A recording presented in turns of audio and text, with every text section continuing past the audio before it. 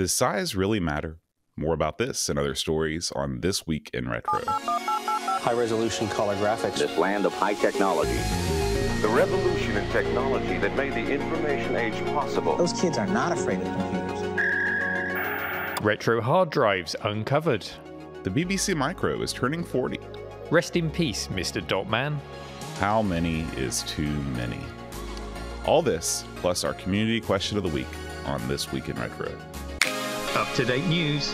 For out of date tech. I liked the opening line today, John. You, you did well to say it with a straight face there. now, before we go into our first story, I just wanted to make you aware of it's that time of year again. It's the RMC charity calendar when we use our powers for good. Um, this year, the theme of the calendar for 2022 is uh, micros and consoles behaving badly. So we've got machines which have crashed, um, which are in a bad state of disrepair uh, and, and, just make you cringe when you look at them. But actually, somehow, all of that uh, destruction works quite well on a calendar. It's a nice thing to hang on your wall. So, hopefully, Duncan's popped some images up on the screen if you're watching the video podcast. You can pick it up from rmcretro.store.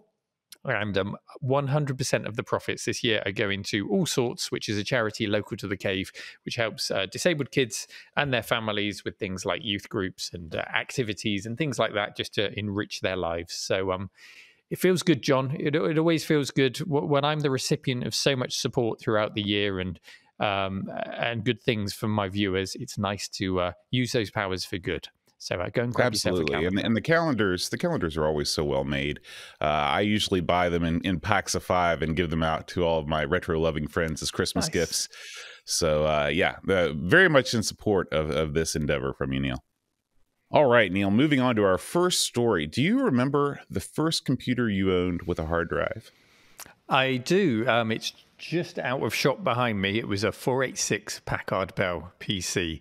Um, I did have a machine that was capable of having a hard drive before that in the Amiga 500 that I had, but the cost um, of adding that to my Amiga 500 was it was totally out of reach for me at the time. And then when I did start to accumulate some pennies and be able to afford that kind of thing, you, you reach that crossroads of is the money best spent on a hard drive for my old Amiga 500, or should I put it in a pot towards a PC going forward? I had no doubt in my mind. I'm sorry, Amiga fans, but I had no doubt that the PC was the future um, as, as, my Amiga 500 was aging. So it was an easy decision for me. I put that money into the pot. The Amiga got sold, and the cash from that went towards it as well. And then I got a PC. It was a 486 Packard Bell. Um, I think it was an SX 25 or maybe a 33 CPU. And it probably had about a 40 megabyte hard drive, which just sounds minuscule now, doesn't it? 40 megabytes. But mm-hmm. I, I struggled to fill that thing you know even with the latest and greatest games that was a huge amount of capacity for me but that's where it started with hard drives for me yeah how about you uh, we had one early on, actually. My family's second computer, which was an IBM uh, AT clone, uh, it had a hard drive. Uh, I remember it came with this auto loading shell that featured a, a, dozen or so programs. It's weird, Neil. Somehow the computer came pre installed with all this software, everything from Lotus 123 to uh, the first Leisure Suit Larry game. I'm sure it was completely above board. there was no shenanigans going on. But um, I'm, I'm sure among the retro community, I'm in the minority as is hard drives for 8 and 16 bit computers that weren't PCs were notoriously rare and expensive until the late 80s or even into the early 90s. Um, do you remember seeing a lot of hard drives on your friends' computers before you moved to a PC, Neil? Not a huge amount, but I do remember seeing them. And again, it was with my PC owning friends rather than mm. any other system. It's weird. Uh, over the years, I've tried out lots of old PCs uh, in here, including the range that Amstrad did. And some of the Amstrad, like the 1512 uh, PC, some of them came without a hard drive.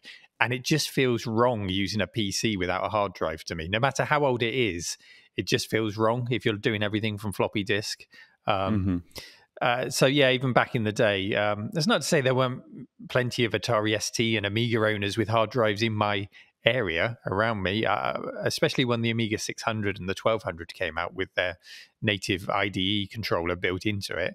Um, but I didn't, I didn't see them. I wasn't moving in that circle of friends, so it was only my PC owning friends that had hard disks around me. Well, Neil, it looks like people who did own hard drives on their computers back in the early days, uh, the, the contents of those drives have recently become a hot commodity thanks to a story from Wired shared with us by subreddit user Remington Noiseless. It appears that vintage electronic finds, either on eBay or at thrift stores, often come complete with a little time capsule of their previous owners' lives. Course, in the days before the internet, little thought was given to locking down personal files on computers, and they were often inextricably tied to the machines themselves. As computers were retired and moved to the loft or the basement, their hard drive's contents stayed intact. So, in the story you can read this in the show notes uh, from Wired. Uh, the author interviews uh, a guy named John Bumstead, a restorer and reseller of vintage computers, who detail the contents of these computers. Uh, he says, in addition to personal files such as tax returns, medical documents, and diaries, uh, there are also applications that you know just you know one-off applications that alter the operating system, obscure homemade utilities, and other interesting ephemera from the past that are not quite so well personal in nature. Uh, the question is, where do you draw the line? Uh, Neil, when you acquire a vintage machine with a hard drive, do you immediately, in good conscience, wipe it, or do you have a poke around first just to see what's on there?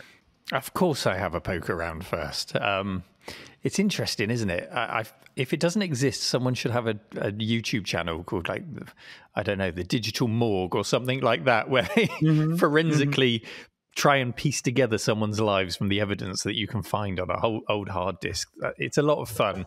Um, yes, absolutely. I, I, come across a lot of this on old machines. Uh, the reason I don't instantly wipe a machine is usually I want to see if it boots, if the operating system's still working, if all the drivers are on there, because it can save me a hell of a lot of time if I can just sure. go into Device Manager and see what drivers I need and all of that stuff.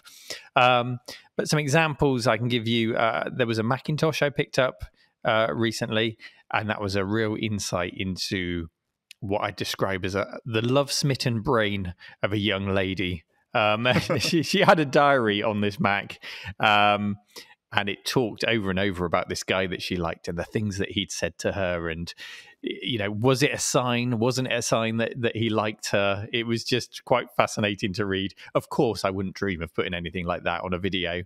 Um, there were love letters on there, which she'd obviously printed out and sent him. And then, John, it was heartbreaking, absolutely heartbreaking. The, the diary went on to talk about how he'd gone off with one of her friends and, and they'd got in a relationship, and she was distraught. Oh, I couldn't put it down. I couldn't stop reading. It was a wild ride. Digital Jane Austen there. Yeah. So um, uh, the question is, of course, what do you do with that? You know you'd like to hope that that information was duplicated when they migrated to a new computer and they didn't just abandon it. Um, maybe it was maybe it wasn't. If they had the sense to clone it to a new pc they'd probably have the sense to wipe the old pc if they're worried mm-hmm. about that sensitive information. I don't know. Maybe it was maybe there's no record of that anywhere else at all.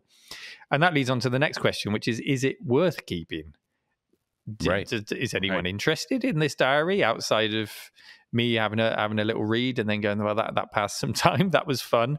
um, should it be destroyed? Should we save their dignity from someone who might plaster it all over social media? Or, yeah, there might potentially be information in there which would allow you to steal their identity or something, you know, nefarious like that. Mm-hmm. Uh, so it's hard mm-hmm. to know what to do. Yeah yeah but there's there's plenty of examples that i've come across from computers and even more recently i, I bought an sd card. Um, it was from a shop called argos. I bought an sd card to put in my camera and something just didn't feel quite right about the packaging john. So mm. i hmm. thought okay let's have a look at this. Put it in. There was nothing on the card but i ran an undelete program on there found a complete set of a family holidays photos. So that card really? had been used. And does, does Argos deal in secondhand uh, goods? Well, apparently they do now. Yeah, yeah. Somebody must have gone on holiday, used the card, and said, "Right, I'll go and get my money back on that." Wow, dodgy. Uh, how about you, John? You must have some good examples. Oh yeah, I mean the one of my favorite things about getting an old computer is you know because people come to me all the time, as I'm sure they do. They say, "I hear you collect old computers," and I say, "Yes, yes, I do," and I take whatever they give me. And uh, the first thing I do is uh, is turn it on and have a poke around. Uh, I love seeing how people use their computers. You know, a, a lot of times people have really interesting filing systems. you know, they'll have different folders for different things, um, and uh, and I just like seeing what they were using their computers for. Um, of course, that said, I'm, I'm no criminal, Neil. I would never use what I found for nefarious purposes. And I always uh, wipe the drive after that initial boot, unless it's just a machine, like you said, that has some things that are just impossible to find again. But a lot of times these are old Windows machines and things. And so I do see it as a type of uh, time capsule into the past. And I don't personally have an ethical issue with it. I do think you bring up a good point. You know, a lot of times what we know about the past comes from examples just like you found on that Macintosh, you know, old diaries and letters and things. And in this digital age, we don't often keep those things when they get deleted, they're gone forever. Um, it's not like a letter which you could put in a box and forget about for 100 years. So maybe mm. there should be some kind of an initiative where when you do find things like that, you can upload it to a repository somewhere uh, just in case, you know, it might be useful for the future. Yeah. And, and we're talking about finding these things in isolation and reading them in isolation.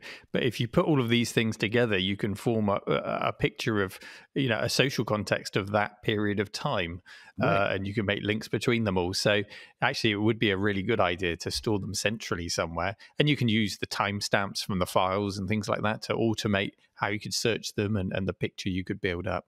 So, um, yeah, you know we lead then down the road of big data and everything that we can extract from it which would be really mm-hmm. interesting sure um, hmm, if only I had the time to set that up.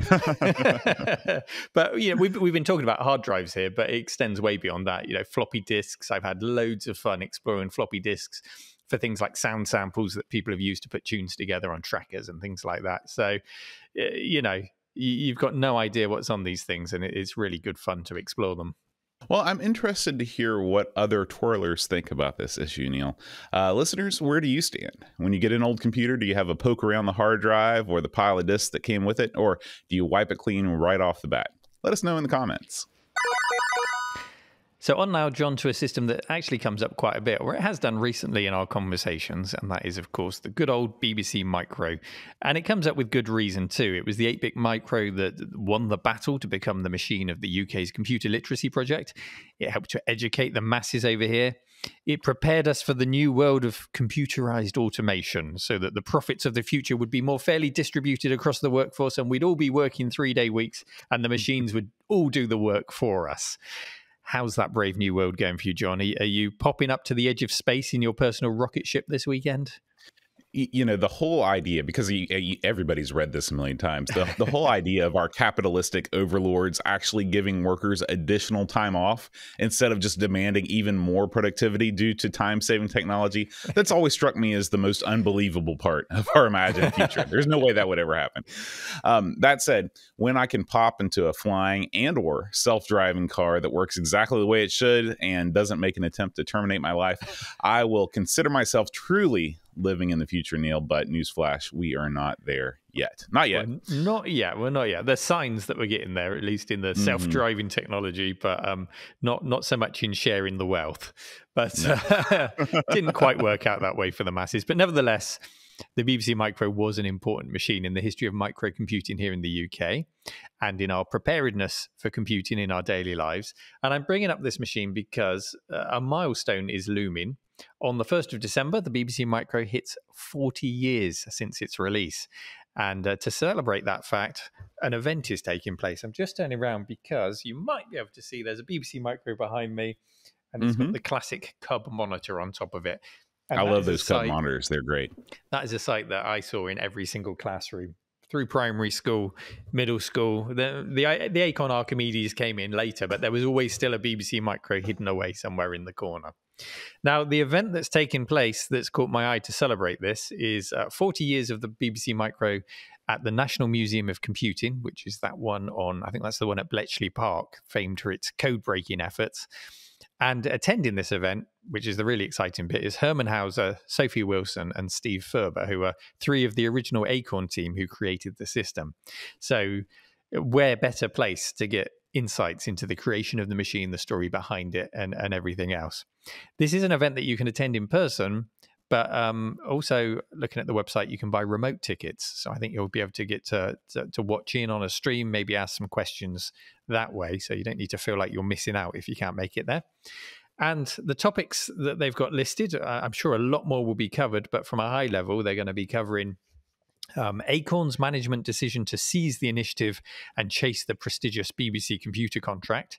So um, that, that's something we spoke about last week when we talked about the reimagined ZX Spectrum uh, and if mm-hmm. it might have been a viable alternative to the BBC Micro. Um, that was a really interesting one. Uh, they talk about, or they will talk about, the challenges faced when building a convincing prototype in five days and shipping in less than a year. It, it was such a fast turnaround. Um, if you watch the film Micro Men, there's a scene in it where uh, they've got the guy. I think it's the people from the BBC coming to take a look at their prototype. They're coming up the stairs. They're coming up the stairs, and they snip the wire. I think it might be Hermann who snips the wire at the very last minute, and it, and the unit springs into life. Which Steve Furber has confirmed. It ain't really how it played out, but it you know it wasn't that close. But it was still a monumental effort to get it made in such a short space of time. Uh, it could so easily have seen the contract aw- uh, awarded elsewhere simply because they didn't have a working machine to show. You know, regardless of the what ifs, what if Sinclair could have done this? What if their machine looked like that? It, it could have simply come down to Acorn didn't get their prototype working, and then everything would have been blown open. Mm-hmm. Um, they're going to talk about the fierce competitive pressures from rivals, including Sir Clive Sinclair, of course, but also um, a discussion about Apple which we don't think about so much here in the UK, or at least back then. The Apple IIs were around, but they certainly weren't as big here. Um, there's that, that, famous story about the the punch up at the Baron of Beef pub in Cambridge, where a fight broke out with Sir Clive Sinclair and I think it was Chris Curry was in that fight. Who unfortunately um, isn't attending. Um, and we'll hear some more details, hopefully, on the aftermath of that. But more interestingly, um, their thoughts on Apple at the time. Uh, the Beeb, I think, could easily have been considered the UK's Apple II. Do you think that's a fair comparison, John? Yeah, yeah, I think that it's it's a it's a very interesting thing to talk about because the way that these uh, machines were developed, they both came around in, in, very sort of traditional ways in terms of the countries where they came from. You know, the the BBC once the prototype was was was built was financed, you know, pretty much by the government to put these things out into uh, into schools. You know, it was very much a national effort uh, versus the you know uh, the Apple II being an American machine was entirely you know market driven uh, and uh, you know with no help from any sort of government entity in terms of funding, but they both ended up in the same place. Uh, the Apple II, uh, because of initiatives that that uh, you know Apple saw in terms of its potential for education, uh, really pushed hard to get those machines in schools and uh, they it was definitely you know if you were around in the early 80s you had a better chance to see apple iis in schools than almost any other uh, any other computer and of course the other thing they share in common is that the joysticks for both machines are just absolute garbage yeah they, they bordered on unusable really weird kind of floppy analog mm-hmm. joysticks mm-hmm. they're just a bit yeah, non-centering analog joysticks yeah. that's not how you want to play games not at all. Not at all.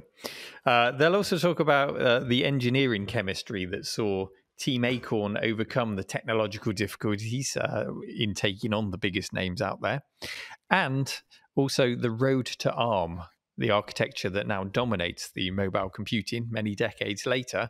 Because um, ARM was developed using the BBC Micro, and um, incidentally, there was uh, an auction for a rare ARM module that slots onto the uh, BBC Micro um, on eBay just last week. So you know what that means, John? Auction watch. That's right. That's right. It's auction watch. I hope we got lots of echo on that one, Duncan. That was a, a real effort there from John. Well done. Maximum drama. Um, so, uh, what we've got here is the ARM evaluation system, which um, it was the first, I believe, the very first hardware production, or at least commercially available hardware production of an ARM chip. I think it was originally developed and prototyped in software in BBC Basic. Uh, it was mm. written in, uh, and then it comes out in this cheese wedge case. There were lots of other co-processors you could get for the BBC that were in this similar case, as well as the teletext add-on and things like that. And uh, this particular auction, then, for the first ARM chip, um, the evaluation system, has ended on eBay at a whopping £5,655. That's hmm. 7,633 of your freedom dollars over there, John. Mm. Um, That's a lot of money. It's a lot of money. It's a lot of money. But given what ARM went on to become, I don't think we can argue that that, that is not a piece of computing history. Um, it really yeah. is You know, it's Yeah. as big as having the very first Intel processor or something like that. You know, um, you can really trace its lineage from then to right here and right now, and the impact that it's had. So.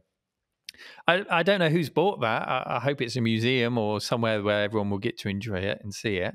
Um, but yeah, you know, uh, five thousand six hundred fifty-five pounds that wouldn't be a bad investment. I think wouldn't be a bad investment if you- if you had the money to when you around if you it. look at the price of say Apple ones over the past ten years, Mm. uh, yeah, uh, buying and this is part of the reason why I think the hardware market is so hot right now on eBay is everybody there's a certain segment of the population that's looking at this not only as a collector piece or something they can you know do, donate to a museum, but they're looking at this as part of their uh, you know strategy to cash in in the future. So I, I like to think that that doesn't happen in our hobby, but uh, but I know that it does. And uh, you know, seventy six hundred bucks is is a lot of money, but like you said, when it comes to something as revolutionary as the beginnings of the ARM chip, um, it's it's probably worth it at the end of the day. Yeah, I think so. And uh, just before we we chatted today, I, so I haven't had time to confirm this, but just on Discord, somebody mentioned to me that um, an Apple One came up for auction and has just sold for half a million dollars. Um, Right. I've, I've not been to confirm that. I don't know if you've seen that story. No, I haven't Um, seen that, but that doesn't surprise me at all. But if you look back to, I think it was 2012, there was an Apple One that came up for auction, and that went for about 120,000. So you know, a huge increase in less than a decade, and and I could, I can very realistically see that happening with this ARM wedge as well. So. Right. Yeah, whoever you are, well done. But let's not go crazy here, John. We're not talking what a graded Mario 64 prices. I I mean, that, that'd be crazy. That'd be crazy That would be crazy. this this thing only changed the world of portable computing. Nothing, nothing more than that. so, um, as the milestone approaches uh, of the BBC Micro's 40th birthday, um, perhaps take some time to reacquaint yourself with the BBC Micro. Try it out for the first time if you haven't tried it. See what it was all about. Check out the event at the National Museum of Computing. Uh, all the links will be uh, below the show in, in the show notes, uh, and let us know on the subreddit what your BBC Micro memories are. Pac Man, Neil. Pac Man. Has there ever been a more iconic figure in the world of video games? he's got to be up there, hasn't he? Um, the shape, the sound, the, the sound he makes when he's gobbling up those dots, the music. Um, it- it's all burned into pretty much every gamer over a certain age, isn't it? Or even current gamers. You know, there are loads of current gamers who will be very familiar with the game and not just the name. It, it really is it, timeless, isn't it, Pac Man? It is. It is. I, I really believe that Pac Man is the first and the last word on video game characters, mascots, whatever. I mean, even people with the most tenuous grasp of video games in their history can recognize that yellow pizza shaped object. Uh, Pac Man was video gaming's first real mascot, and the fact that you still see the machine, or more likely the Miss Pac Man variety, in places where arcade machines have all but died only speak to the staying power of the character and the game even you know whenever they uh, have stories about video games and do they cause violence on tv on the news and things like that you always have one incredulous reporter that just says whatever happened to pac-man as if you know video games are still stuck in, in 1980 well neil it's with a heavy heart that I report that the creator of the Pac Man character, Hiroshi Ono, affectionately nicknamed Mr. Dotman, has died at the age of 64 after a long illness. Um, ono joined Namco, the company responsible for Pac Man, as well as so many other classic arcade titles, way back in 1989 and stayed with the company until 2013. 1979 through 2013, quite the tenure in the constantly evolving world of video games. And uh, he created not only the artwork for the Pac Man arcade cabinet, but also pixel art for many of Namco's most enduring games, uh, most famously the sprites for what some people think of as the quintessential space shooter, uh, Galaga. Uh, in the article linked in the show notes from Video Games Chronicle, you can actually see scans of the graph paper Ono used to design the alien sprites in Galaga, as well as their rotation and animation. I always love seeing these early concepts on analog formats like graph paper before they transition into the digital world. Um, Ono also designed the sprites for Dig Dug and Mappy, and uh, he worked at least in part on Pole Position and a whole host of other games in the golden age of arcade gaming. Now, Pac Man, Dig Dug, Mappy, which of those three is your go to game, Neil? Oh, of those three, um, I would probably go with Dig Dug. Um, I don't know if it's necessarily the best of those three, but th- that used to always be at the back of an arcade that I went to when I was at college. Despite being pretty ancient by that point, it was super cheap to play compared to all the other arcade games there.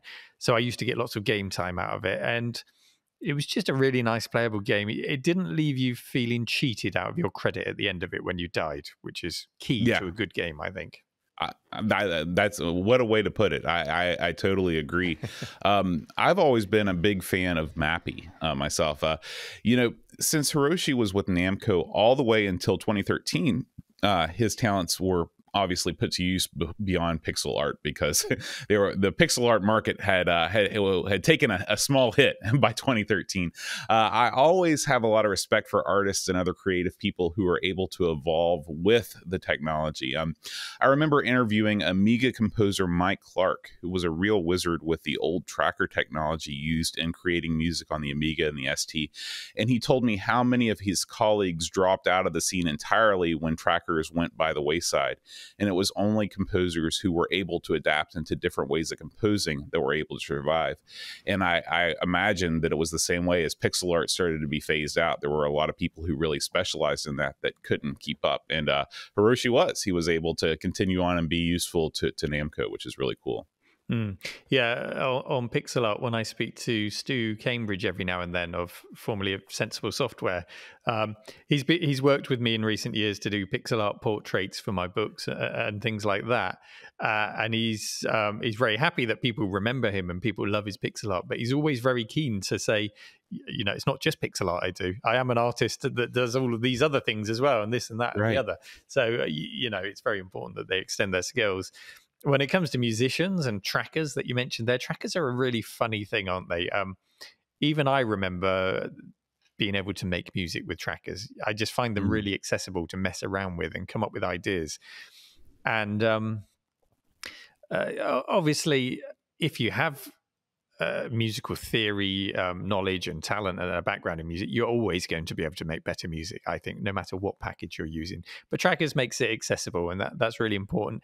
And I think there are a lot of modern packages like Fruity Loops and and Ableton is is another one that a lot of people talk about that do have that kind of experimental lab style of making music that doesn't you know give you musical notation and expect you to drag notes around on the screen.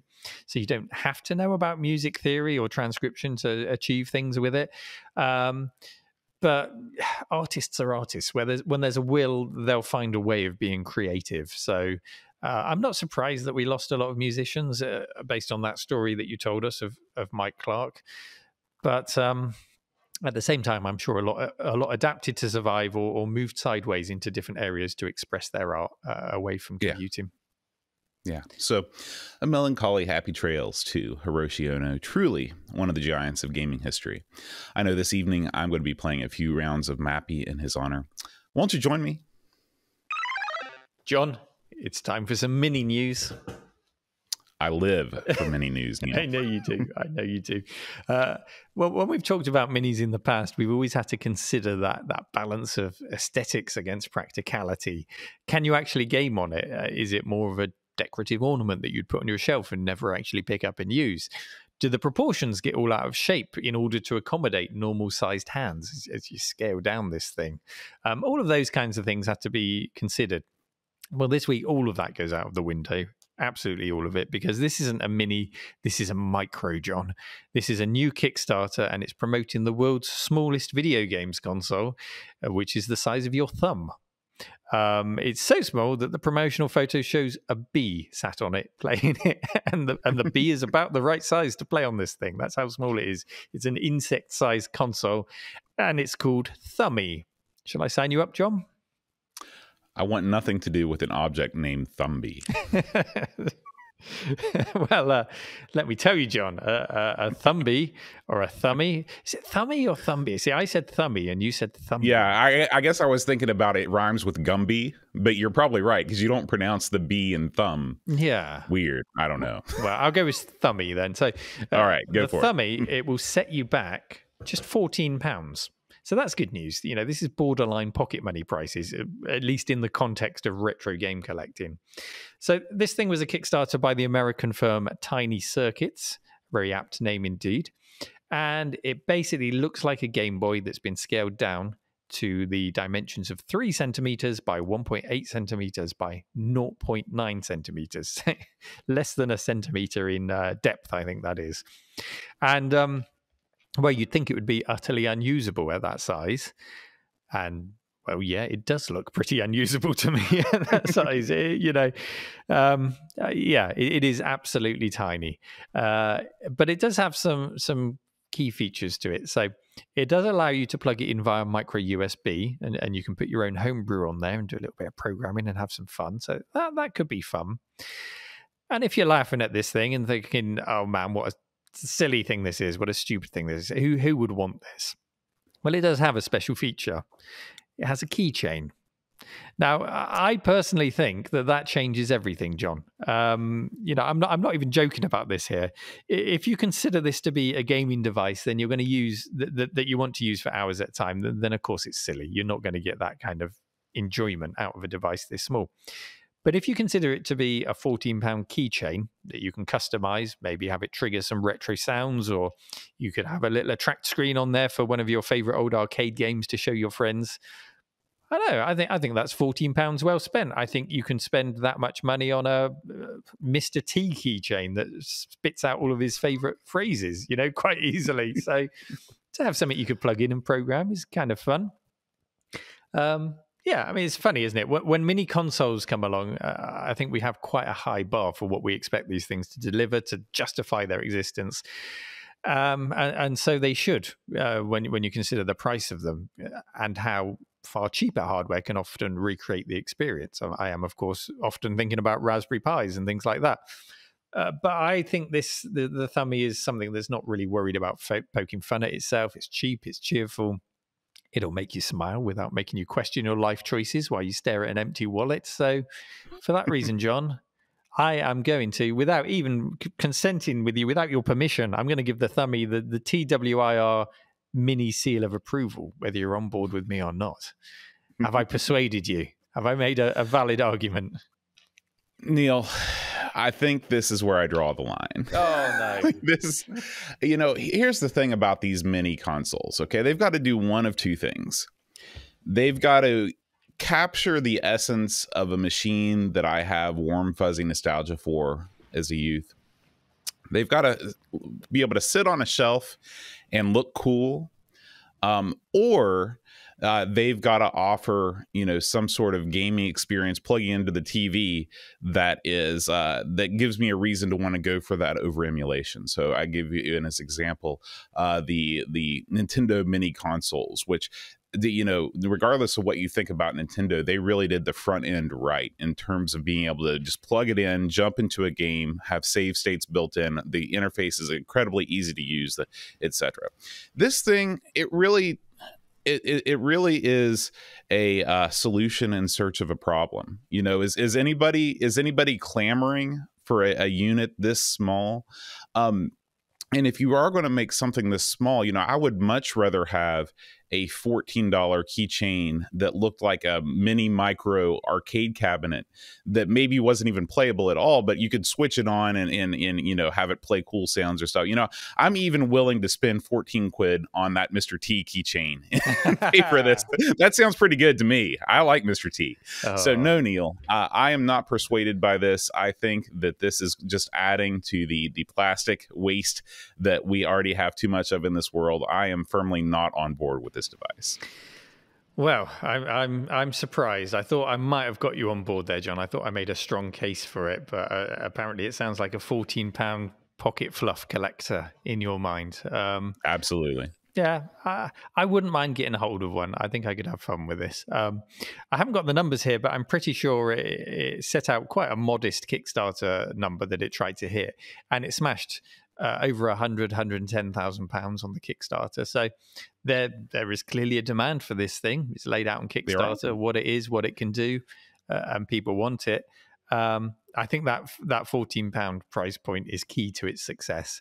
You know, it's almost disposable at that price, but that comes with its own disposable is the apt term. Yes, as you say, yeah, it, it, we need less of that really in the world, less less disposable plastic. But there you go. Um, and another thing, I, I, can't confirm if it does this or not, but obviously you can upload your own homebrew onto it to use it. So there's you know there's memory on there. So perhaps you could just use it as a memory stick as well. You know, a glorified mm. memory stick. So that could add a little bit more purpose. I, I don't know how much storage is on there, but if you want to find out, the links are in the show note. Um, the the principal engineer is a chap called Ben Rose, uh, so you can find out lots more from him and decide if you want to put a Thumby on your keychain, uh, and that's definitely keychain and not blockchain. So that, that's re- another reason for me to celebrate. Neil, last week our community question of the week was what are your windows xp memories we talked about uh, windows xp turning 20 years old and we had some uh, we had some responses on our subreddit.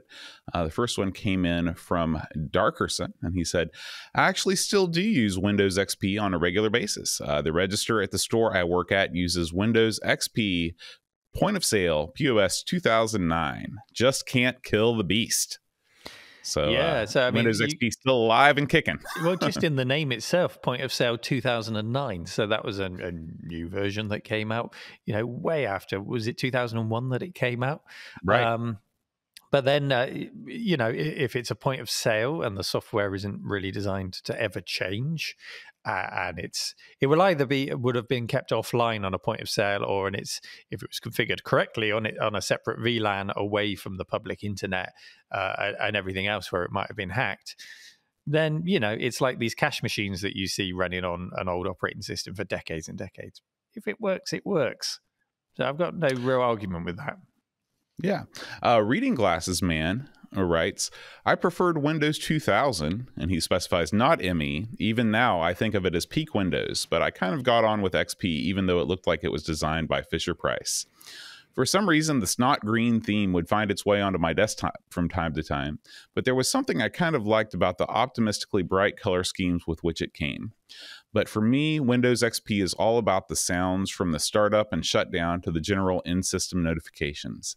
Even now, when I hear them, I can have small fuzzy feelings in my belly. he says I'm a he says I'm a Linux user now, but I did like Windows XP, even if it did have a healthy disposition similar to that kid in class who had every allergy known to humanity and caught every cold first before spreading it to everyone else. well, I mean, the, the comparison between 2000 and XP uh, there were changes, but XP was essentially 2000 with you know things bolted on and made to be friendlier for the home. So mm-hmm. uh, I do remember when XP came along. Yeah, I was using 2000 at work, so there was an element of this looks a bit childish when I first installed it. Um, but I soon got used to it. You know, I got rid of the background we were borderline back then. You got to remember when XP came out, we were borderline in that period where you would do things like remove the background just to save some memory and and reduce sure. the amount of paging that was happening on your hard drive. So um, mm-hmm. you, you, know, it, it's easy to forget that, especially when you install XP on a much later machine, as many of us do for our emulation systems and things like that. It's um, it's been installed across a very broad range of hardware and on the most part coped with it quite well. Yeah. And finally, Warshi7819 writes Remember upgrading from 98 SE, which worked very well, uh, and was hit by driver issues and instability. Not as bad as ME, which I also tried and immediately left behind, but bad enough so that I actually downgraded to 98 SE again. I didn't become a steady XP user until SP2 was released. But after that, I have only good memories of it. Mm. Neil, did you work with ME a lot? It seems like ME is the most universally loathed Windows uh, platform. I don't remember ever supporting ME in an office environment. It would have been NT4 or, or 3.51 or something like that. Um, but no one in their right mind put ME in an office and and, and put their job on the line supporting that pile of steaming. Yeah, um, I did install Windows 98 SE recently on one of the machines behind me, and I completely forgot that in the install process there's an option for the shell. And you can actually choose to make it look like Windows 3.11 as an option when you install really? it. Yeah, I, I, huh. I don't ever remember seeing that back in the day, but it was it was there in the install menu. Yeah. Interesting. Well, this week's community question of the week is the Apple II or the BBC Micro? which was the better machine? We're throwing oh. down the oh. gauntlet here, Neil. uh, please post your responses in the subreddit, and we'll read the top three most upvoted responses on the air next week. This Week in Retro was presented by Neil from RMC and John Schaller. It was produced by me, Duncan Stiles. The podcast version of the show is available through your favourite podcaster, including Apple Podcasts and Spotify, and the video version is available on the This Week in Retro YouTube channel. Join our community subreddit at r slash This Week in Retro to suggest and vote on stories we cover on the show. If you watch This Week in Retro on YouTube, please give us a like and subscribe to help us reach new viewers. If you'd like to support the show, please check out the links to our Patreon and Ko-fi pages in the show notes or in the YouTube description. Thanks for listening, and we'll see you next week for more up to date news for out of date tech.